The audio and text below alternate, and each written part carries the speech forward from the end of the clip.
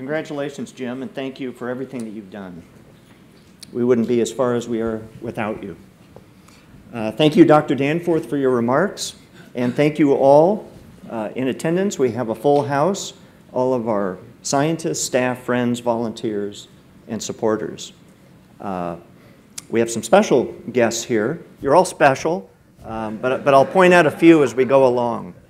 Uh, before my remarks about the state of the center, I want to recognize one more person who has served us so well, and that is our outgoing chairman of our Friends Committee. For the past two years, Jay Noose has worked tirelessly to chair quarterly meetings, host lunches, uh, and on occasions too numerous to mention, represent the Danforth Center, the Friends, our volunteers. Um, we wouldn't be as far without Jay Noose as we are today. In fact, Jay, uh, you follow on uh, and hand over uh, the chairmanship of the Friends Committee to a terrific individual, Molly Klein. Uh, but before we do that, Jay, please stand up and be recognized.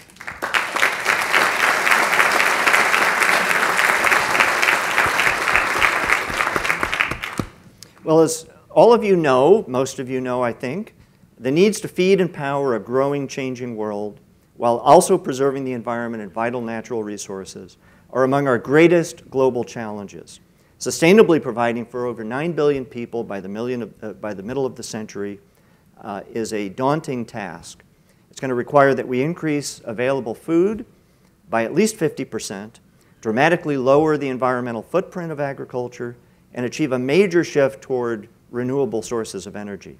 Over the next 40 years, the world needs to produce more food than all that was produced in agriculture over the last 8,000 years combined.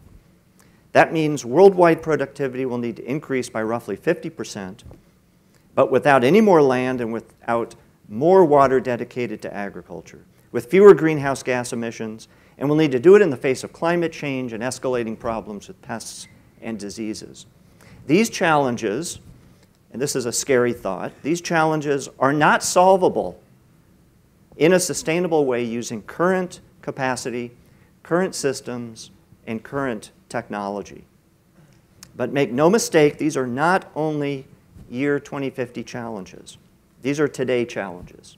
Consider a couple of facts. Today, nearly 900 million people are food insecure around the world. An alarming 26 billion tons of topsoil is already being lost every year from primarily agricultural land. Erosion rates are about 10 times higher than soil replenishment rates. It's 10, 10 times in this country. Go to India, and it's three to four times higher. Agriculture already contributes 10% of our overall greenhouse gas emissions. That needs to come down. And 70% of all water that we use on Earth for uh, society is already used for agriculture, primarily for irrigation. Water is a particularly intriguing problem for two major reasons as we go forward. Rainfall will become less predictable in agricultural growing regions, and water will become a more competitive, a more depleted, a more restricted, and a more expensive natural resource. Just to put some reality on the needs for water, I've got this fun chart that I'd like you to have a look at. How much water does it take to produce some things that all of you consume, most of you consume? Uh, it takes 14 gallons of water to produce one orange. All right, that's not so bad. Oranges are pretty good. I like oranges. Uh, put another way, uh, if you went to your kitchen, turn your faucet on full blast, you'd have to run your faucet for about five and a half minutes to put out the water to make one orange. 28 gallons, or just over 11 minutes to produce an avocado.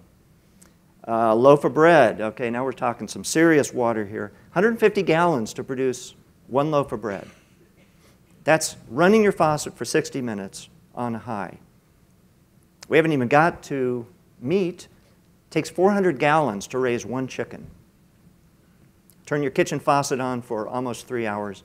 Uh, but if you want to have a hamburger, or better yet, if you want to have a hamburger for your family of four, you need, for that one hamburger, about 4,000 uh, uh, you need 1,020 um, uh, uh, gallons, or the amount of time running your faucet for almost seven hours to make that one hamburger. Family of four goes up to over 4,000. Um, for that one hamburger, if you want to put tomato on it, it's 1,021. So the reason I mentioned tomatoes, it only takes three gallons to raise a tomato. That's actually why we study tomatoes. Tomatoes are pretty water efficient. It's a fascinating crop. Meeting global challenges at the nexus of food, water, and energy today and tomorrow will require significant new investment in science and technology. We can't get where we need to be with today's tools. That's what motivates us every day at the Danforth Center. Now, if the center does its part, we'll understand better how plants work in changing environments, drier environments, for example. Uh, we'll use that technology to improve productivity and sustainability of food, energy, and industrial crops. We'll develop technologies that are taken up by the private sector but we'll also give that technology to those most in need in developing regions, and we'll help create innovative startups and attract leading edge companies to the region. And we'll produce well-trained plant scientists who will guide the next generation. These are the outcomes that matter to us. How are we doing it? How do we ensure that our work and our output, our activities, lead to important outcomes?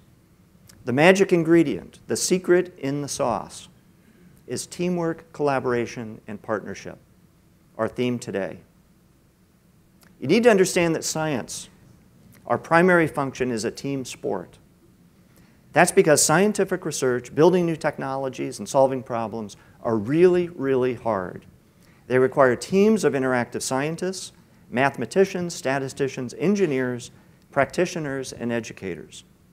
Teams at the Danforth Center develop unique platforms for discovery, application, and outreach. And then we partner with organizations that are best positioned in the region, the country, and the world to solve real problems where they exist. We were very productive in 2014. Our research programs made amazing discoveries. I'll talk about a few today that were described and disseminated in 99 journal articles. That's a record for us. We advanced several crop improvement programs through 10 important field trials in three different countries. We were successful competing for grants, 13.9 million for the year, another record, and in training our young scientists. In fact, we hosted our 529th trainee since inception. And through our science education program, again, which I'll talk about later, we reached 1,968 students in 38 schools, 16 of which were City of St. Louis public schools. And it was nearly all done in collaborative teams. 88% of our published research articles were collaborative works between two or more labs or institutions. Two thirds of our grant funding was for multi institutional collaborative projects. And as I'll discuss later, much of our education and outreach involves team comprised of education and outreach professionals and scientists in our labs. For us, collaboration is bedrock. In fact, if you chart who interacts with who at the Danforth Center, which is shown up here, you get this fascinating map that shows we are a large, interconnected network. Now, what I'm showing up here is what we call a network map. There's a dot for all of the scientists at the center. If it's red, it's one of our PIs. If it's blue, it's one of the rest of our scientific staff, postdoctoral scientists, graduate students, technicians, and others. If you're green up here, you're a collaborating partner at another institution. Noah Fahlgren produced this map yesterday. What it shows is that we function in teams. Oops, excuse me. This cluster down here, that's our International Crop Improvement Program. That's showing actually three different projects or clusters that are happening in teams at the Danforth Center to improve one of eight food security crops. Right here, that's the team that's working to develop camelina and other seed crops as an alternative source of jet fuel. Up here, I could tell all of our scientists are looking at this and saying, where am I? Where am I on this map? This is a cluster that is working on a Department of Energy program uh, that is spearheaded by Ivan Baxter, Tom Brutnell, and Todd Mockler, those three of whom are right there. And they connect with this big mass here, which I'll talk with in just a moment. We have some individual labs out here who connect with their PI. That's my lab, and that's me. the point of this, we work in teams, but those teams are interconnected. So let me give you a few examples of the power of team at the Danforth Center. First, one of our favorite teams, the Bellwether Phenotyping Team. This is a remarkable group that has developed a new platform for discovery to understand how environment interacts with plants, plant genetics, to affect plant performance. That's what phenotype is, the collective uh, set of properties that define plant performance. The team involves 21 people from seven labs and two core facilities at the center. Where does it fit in here? That's this cluster right here, this dense uh, convergence of many people. The phenotyping team, coupled with another group I'll mention uh, in a few minutes, is at the center of activity here at the Danforth Center. In 2014, that cluster, those 21 individuals, took a new automated system to continuously measure plant traits and turned it into a productive tool that works around the clock. They tackled the issue of water initially. More specifically, they tackled the problem of why some plants are more sensitive to drought than others. They studied the difference in drought sensitivity. Uh, don't worry, I'm not going to get into any data. Uh, this is just a gee whiz wow slide uh, showing you that we can collect lots of data with the bellwether system. They studied the differences in drought sensitivity between a domesticated, that is a crop, and a wild species, that is something that we collected out in a native landscape, uh, domesticated and wild species of Setaria, which includes, it's a type of millet. Work here at the center is diving deep into the genetic variation of Setaria from different geographies. The team captured nearly 80,000 images over four weeks using three types of cameras, and then they mined information about nine traits using computer vision software that was developed right here at the center. They discovered that different Setaria species respond differently over time to low water conditions, and that this is a genetically programmed trait that affects plant growth. That's important information that breeders can use to improve millet, an important food security crop for millions in the semi-arid tropics. Many of the bellwether phenotyping team are also part of the MAKER team, a group of 45 Danforth Center scientists, staff, and trainees who are spearheading the design and construction of low-cost instruments and software engineering tools to address specific research needs. The MAKER group helps with cross-disciplinary training for postdoctoral scientists, graduate students, technicians, uh, even old people like me, uh, and even high school students and others. Uh, the cross-disciplinary training uh, is at the nexus of computer science engineering, and it uses tools like 3D printing, uh, and some outcomes are things like instrument prototypes. Maker instruments are low cost, but accurate sensors and cameras, and other devices connected to cheap $35 Raspberry Pi computers. You'll like this one, Roger. They're alternatives to expensive commercial equipment. And as you know, that expensive commercial equipment can run into the millions of dollars. And they're adaptable to both laboratory and field settings. On the screen is an example of an ultrasensitive fluorescence imaging system that Dmitri Nusinow built to show spread of a virus in two infected plants, the plants at 2 o'clock and 8 o'clock. Over 60% of the labs, as well as the education and outreach program, are using uh, uh, uh, maker instruments or building maker tools or using uh, maker approaches in education and outreach. And our new building will have a dedicated collaborative maker space to encourage and expand this program. Several team members are bringing the Danforth Center Maker movement uh, or, or taking it out of the center and bringing it to the public. That's going to happen this Saturday at the first Raspberry Pi Jam here at the center. You can go online and learn more about this. By the way, you're all invited. The event, which currently has over 250 registrants, we're not sure how we're going to fit them all in, uh, but we encourage every one of them, We'll provide an unintimidating atmosphere to introduce plant science, computer science, and the maker culture to the public. The jam includes tours, demonstrations, uh, robots, learn to solder stations, and much more. You're all welcome, as I mentioned. Now, I want to recognize some of the key people who are leading both the Bellwether phenotyping uh, team, the Maker team, and the Raspberry Pi Jam, uh, which will occur on Saturday. So, uh, when I call your name, please stand. And after they're all standing, please give them a round of applause. Dimitri Nusinow, Ivan Baxter, Malia Gehan, Noah Fahlgren, Carrie Gilbert, Mindy Wilson, and Tom Brutnell. Please stand.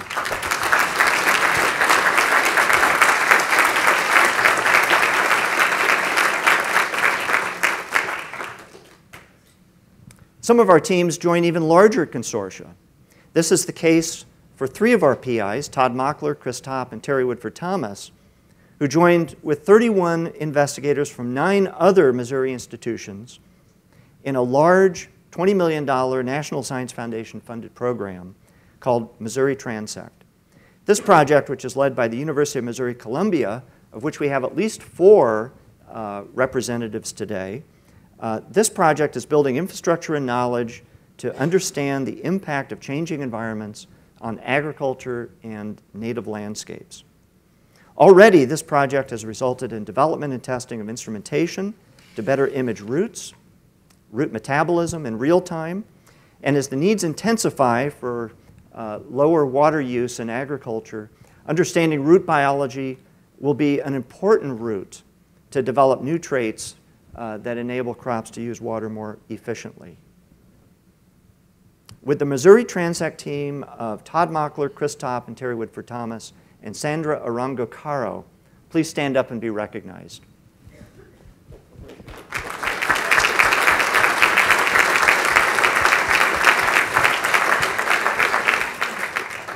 The Missouri Transect project has brought us closer to key collaborators and partners like, like Robert Pless, a leading expert in computer vision and image analytics at Washington University.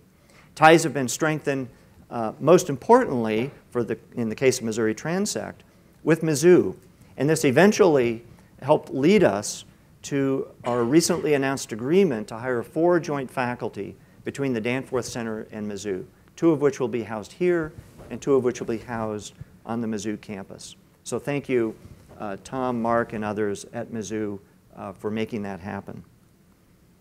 Our education and outreach program has never been stronger, thanks to the tremendous efforts of Terry Woodford Thomas, our Driemeyer Director of Science Education.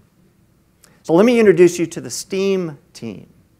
Eight of our scientists working to engage more young women in science, technology, engineering, arts, and mathematics, or STEAM fields.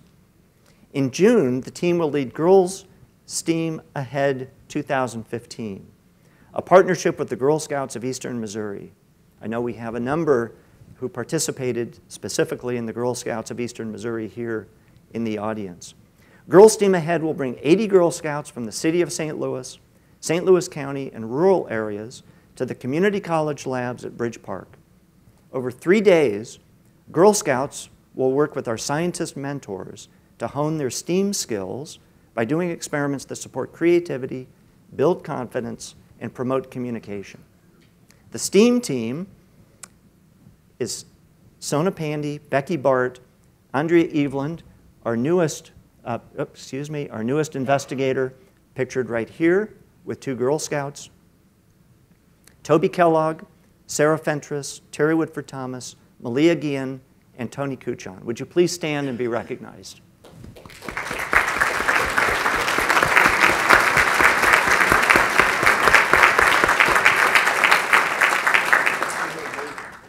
Our role in building the region as a world center for plant science innovation is entirely collaborative and team-oriented. On our campus, Bridge Park now has, houses 14 companies and the St. Louis Community College Lab Training Program. As many of you know, Bridge Park was selected as the new home for a major North American research center for the German seed company KWS. Yes, they wanted to be near the Danforth Center. Yes, they wanted to interact with our scientists and use our facilities. But they also wanted to be part of what they expressed as a unique St. Louis innovation ecosystem. Last week, I and many of you were able to attend the grand opening of their new laboratory, office, uh, and conference facilities over in Bridge. Very nice facility. It, it underwent a $6 million redesign and renovation, contains new labs and other, uh, other facilities, uh, and that very importantly will house 75 new people to the region, to Bridge, uh, within the next few years. We're very excited about that. Although we're not making any formal announcements this morning, stay tuned because we will, over the next few months, uh, uh, look for some news about new companies and new organizations that are going to find their way to this campus. On the startup side, Helix Center, our neighboring plant and ag technology incubator run by the St. Louis Economic Partnership, achieved full occupancy in its phase one build out. This important Bridge Park sister facility plays a vital role in growing early stage companies that will one day perhaps graduate to Bridge Park. Three of our Helix tenants, Benson Hill Biosystems, Kultevat, and um, uh, were either started by or have close research ties to past or present Danforth Center scientists. And we were thrilled to see Yield Lab. Uh, Thad, congratulations. Uh, we were thrilled to see Yield Lab, an accelerator for ag startup companies, get off the ground at Helix uh, over the past 12 months. And we're proud to report that the success of the sixth annual Ag Innovation Showcase, held in September and attended by 350 investors, entrepreneurs, and strategic representatives in the ag tech space. Uh, we were thrilled to host that for the sixth time here at the Danforth Center. Since inception, companies presenting at Ag Showcase have raised more than $360 million in financing. And two of our Bridge Park companies, New Leaf Symbiotics, uh, which recently closed a $17 million Series B round, and Symyco, which shipped its first commercial product this year, uh, have been featured companies in the past.